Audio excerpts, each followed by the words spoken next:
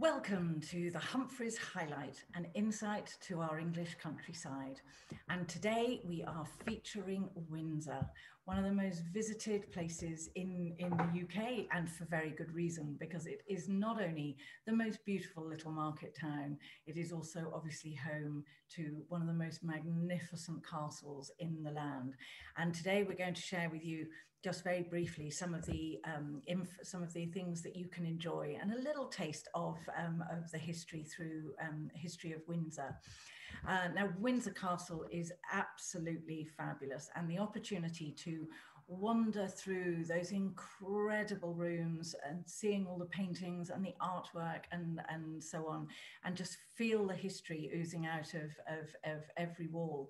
It has a fabulous history back to uh, William the Conqueror, who realized its strategic position um, on, on the banks of the Thames and um, and built a castle there that doesn't quite didn't quite look like the castle does um, today, but it is now apparently Queen Elizabeth II's favourite home. Um, we know that she loves spending her weekends there, um, and she is the latest of 40 British monarchs to um, to have spent spent time there. All of them have made their own uh, their own mark as it's it's gone through. So King Edward III um, probably made some of the initial big changes. Um, and it went from being William the Conqueror's uh, fortress to a rather beautiful, beautiful palace. Henry VIII and the Tudors added maybe a little bit more of the fun element to it, um, and uh, and some of those Tudor elements are very much, very much there today. And um, it also played its part, as you will learn as you wander through the corridors of the castle. It played its part in our, our Civil War as well and Charles II certainly certainly loved it and made made a big mark. And a few little facts about um, about Windsor. The kitchen clocks are always five minutes fast um, because you wouldn't really want to serve dinner late for uh, Her Majesty and her her guests and they always have a fabulous selection of wine to choose from, all 18,000 bottles of it um, down in the um, down in the cellars. So um, they're certainly going to eat and drink well if you're ever lucky enough to dine at um, at Windsor. And the round tower is called the round tower, but it's not round, um, which is one of those little anomalies which we love so much in our um, in our stately homes. Now, St George's Chapel featured wonderfully in uh, a couple of royal weddings, actually, um, notably um, Meghan and Harry. And it was so glorious to see Windsor in all of its majesty with the sun shining, not a cloud in the sky. Um, and there was something very intimate about um, having, the Winds- having the wedding in, in Windsor. And uh, I'm sure you saw some of the, some of the pictures. Um, and the Knights of the Garter um, are all, all of the heraldry and so on is, is housed in St George's Chapel. Um, and it's not hereditary. So uh, when um, somebody, a, Knight of the Garter dies, um, they either, uh, they have to hand back all of the um, the heraldry and so on that, that goes with it, and a lot of that is also housed in uh, in St George's St George's Chapel. Here you have some stunning views. Um, the east side of, of the castle, I mean, that view is, is quite extraordinary. Um, and there's a, a, wonderful area where um, Queen Victoria and Prince Albert um, had a little uh, pet cemetery for all of their much, much loved horses and, um, and dogs, and they're all, all buried there. So there's a, so much history at, at every turn. Now, we love to make, um, we love to suggest that um, you make a bit of a day of it because Windsor is well worth um, a whole day. And um, a typical itinerary could include, as you can see, a river cruise, an afternoon tea, um, a little wander around Windsor. So um, maybe as a suggestion for your day, if you arrive in Windsor, uh, you can meet your uh, meet your guide, um, have a little, um, have a fabulous private tour around the castle, learn some history and the stories and the anecdotes and so on, um, and uh, and then really see Windsor from another perspective um, as you jump on a, um, a horse-drawn carriage and then climb aboard your beautiful skippered river launch um, and see it from that way that way too. Now the the carriage riding through Windsor Great Park is utterly magical. And the brilliant thing is, it is um, available for all weathers as well, because there are the open carriages, as you can see in this picture here, um, but there are also ones with um, with roof and roofs and so on to to protect you from the English elements, which is always a good thing. And will provide blankets and champagne or but there's an amazing opportunity to see Frogmore House and all of the key landmarks in, um, in Windsor Great Park. And your driver um, will be probably one of the most knowledgeable people in, um, in Windsor.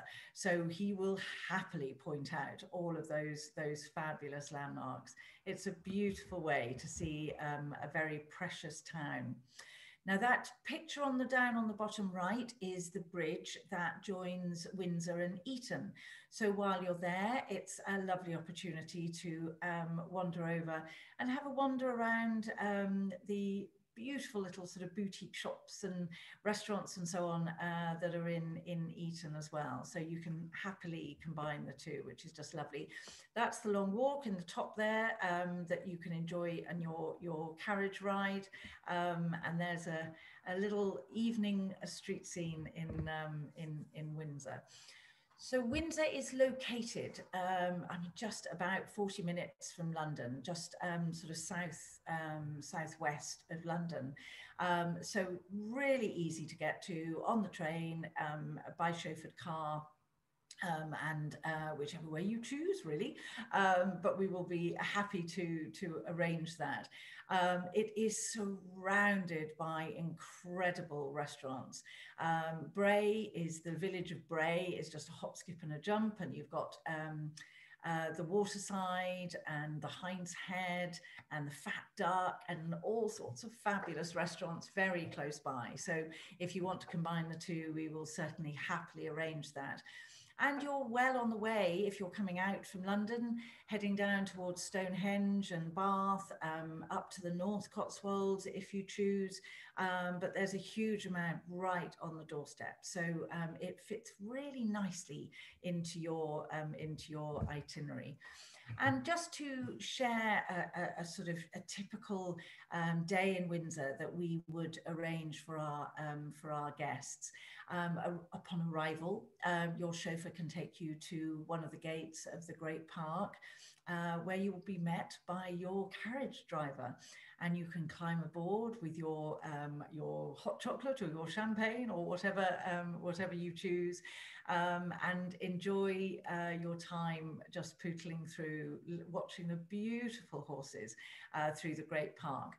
Your driver will then take you to the gate near to the castle where you'll be met by your guide. And you can then have two, two and a half hours probably um, of walking through those incredible staterooms in, um, in the palace, which is, is utterly magical. And you can then have a choice when you've finished your, um, your castle tour. Um, you can either choose one of the lovely little restaurants in Windsor um, the Windsor Grill and, and so on. There's some lovely, lovely choices. Or you could climb aboard your beautiful river launch and have a fabulous picnic lunch aboard uh, while learning all of the stories of, um, of the riverside. There is, there's lots to do and, um, and lots to see. So um, whatever your choice, whichever elements you would like to, um, like to include, we will happily arrange it, um, arrange it for you. And here are some ideas of, um, of the pricing from um, a simple day uh, visiting Windsor, having a private tour of the castle with a, a chauffeured car to and from London.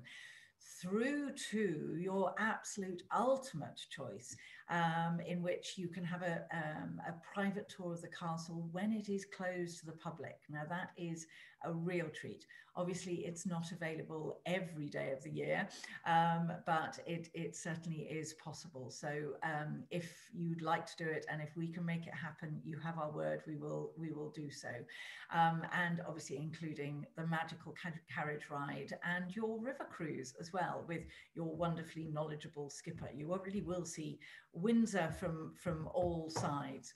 So that is our little trip around, um, around Windsor. Uh, I hope you, you are excited about the prospect of visiting. Please call us, please email us, and we will arrange absolutely everything for you. We look forward to seeing you there.